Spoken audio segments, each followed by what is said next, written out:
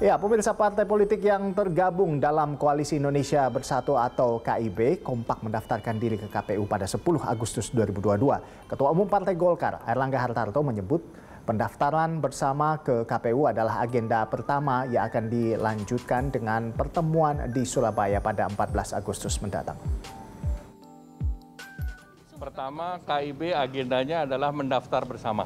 Jadi tanggal 10 kita akan melakukan pendaftaran partai politik secara bersama dan kemudian kita juga akan ada acara di Surabaya tanggal